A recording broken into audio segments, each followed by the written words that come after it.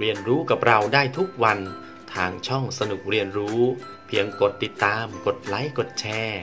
เท่านี้ท่านก็จะไม่พลาดการเรียนรู้ดีๆ ในคลิปต่อไปแล้วล่ะครับ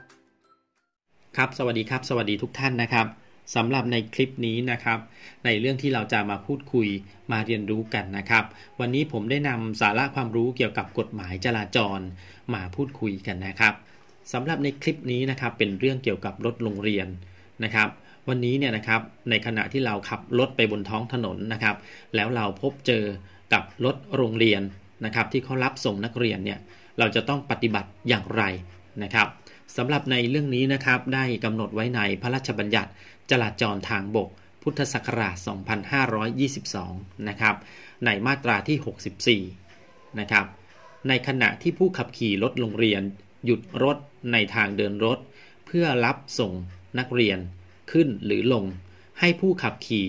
ซึ่งขับรถอื่นตามมาในทิศทางเดียวกัน หรือสวนกันกับรถโรงเรียน ใช้ความระมัดระวัง และลดความเร็วของรถ เมื่อเห็นว่าปลอดภัยจึงให้ขับรถผ่านไปได้นะครับครับและในมาตรา 152 เนี่ยนะครับ ผู้ใดฝ่าฝืนไม่ปฏิบัติตามมาตรา 64 นะครับ ตรงนี้นะครับต้องระวังโทษปรับไม่เกิน 1,000 บาทนะครับ เพราะฉะนั้นวันนี้นะครับการที่เราขับรถไปบนท้องถนนนะครับแล้วก็พบเจอกับรถที่เขารับส่งเด็กนักเรียนเนี่ยนะครับ จะต้องใช้ความระมัดระวัง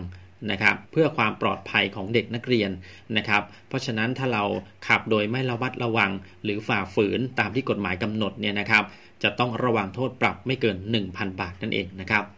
ครับสำหรับในคลิปนี้ก็คิดว่าน่าจะเป็นประโยชน์สำหรับทุกท่านพอสมควรนะครับ สำหรับท่านที่อยากจะเรียนรู้กับเราในคลิปต่อไปก็อย่าลืมกดติดตามกันนะครับสำหรับในคลิปนี้ขอลาทุกท่านไปก่อน แล้วพบกันใหม่คลิปหน้า สวัสดีครับ